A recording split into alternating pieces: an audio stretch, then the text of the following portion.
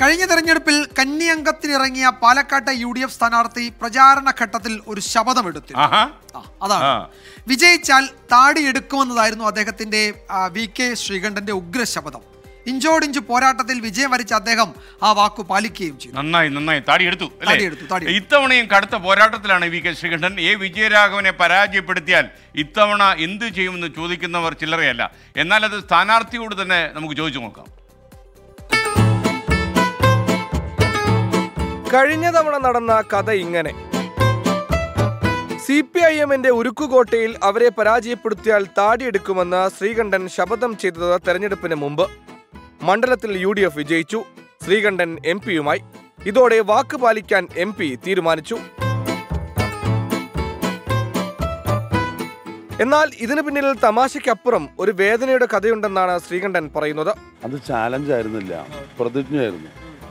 എന്റെ നാട്ടിൽ വിദ്യാർത്ഥി രാഷ്ട്രീയ കാലഘട്ടത്തിൽ നിരന്തരമായി സ്കൂളിലും കോളേജിലൊക്കെ കെ എസുകാരെ എസ് എഫ് ഐക്കാരും ഗുണ്ടകളും ചേർന്ന് ആക്രമിക്കുമായിരുന്നു ഏറ്റവും ഒടുവിൽ എസ് എൻ കോളേജ് പഠിക്കുമ്പോൾ എന്നെ വളരെ ഗുരുതരമായി പരിക്കേൽപ്പിച്ച് ആശുപത്രി കിടക്കുമ്പോൾ മുഖത്തേറ്റ പരിക്ക് മറയ്ക്കാൻ വേണ്ടി ചെറുതായി താടി വന്നിരുന്നു. പിന്നീട് എനിക്ക് തോന്നി ഇത് മറക്കാൻ ആ മുറിക്കല മറക്കാൻ താടി നല്ലതാണ്. എനിക്ക് നിരാശയല്ല ഞാനൊരു പ്രതിജ്ഞ എടുത്തിരിക്കുന്നത് എപ്പോൾ എന്നെ കുത്തി പരിക്കേൽപ്പിച്ച സി പി എം തോൽക്കുന്നു? അന്നാണ് ഈ താടി എടുക്കുള്ളൂ എന്ന് തീരുമാനിച്ചത്. അപ്പോൾ അത് സ്കൂളിൽ തോൽപ്പിച്ചു കോളേജിൽ തോൽപ്പിച്ചു എന്റെ നാട്ടിൽ തോൽപ്പിച്ചു. ഇതെല്ലാം കഴിഞ്ഞ് പാർലമെന്റ് ഇലക്ഷന് തോൽപ്പിച്ചപ്പോൾ എനിക്ക് പരിപൂർണ സംതൃപ്തിയായി സി പി എമ്മിനെ അമ്പെ പരാജയപ്പെടുത്തിയത്. അതിനുശേഷം ഞാൻ താടിയെടുത്തു അന്ന് വി കെ ശ്രീകണ്ഠന്റെ പരാജയം ഉറപ്പിച്ചിരുന്ന L D F M P രാജേഷിന് വേണ്ടി പാട്ടും പുറത്തിറക്കി. സ്ഥാനാർത്ഥി തോറ്റെങ്കിലും പാട്ട് ഹിറ്റായി. പിടിച്ച് ജയി വിളിച്ച് ജയാരവം. ഒന്നായി മുഴക്കി കണ്ടു മോനെ എം പി രാജേഷ് പാലക്കാടും പിടിച്ചടക്കി. പാട്ട് ചിലപ്പോൾ ഹിറ്റാവും. പടം പൊട്ടും. അങ്ങനെ സംഭവിക്കാറുണ്ട്. അത് ഇത്തവണ സംഭവിക്കാൻ സാധ്യതയുണ്ട്.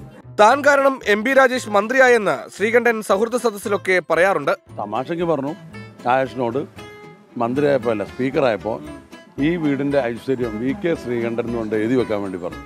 ഒരു തമാശയ്ക്ക് പറഞ്ഞതാണ് ജനമാണ് തീരുമാനിക്കുന്നത് ആര് ജയിക്കണം ആര് തോൽക്കണം. അപ്പൊ ഇത്തവണ എന്തായാലും ചാലഞ്ച് ഇല്ല. പക്ഷേ എൽ ഡി എഫിനെതിരായിട്ടുള്ള പോരാട്ടം അത് അതിശക്തമായി തന്നെ തുടരുമെന്നാണ് വി കെ ശ്രീകണ്ഠൻ പറയുന്നത്. രാജീവ് സുദേവനൊപ്പം പാലക്കാട് നിന്ന് നിഖിൽ പ്രമേഷ് ട്വന്റി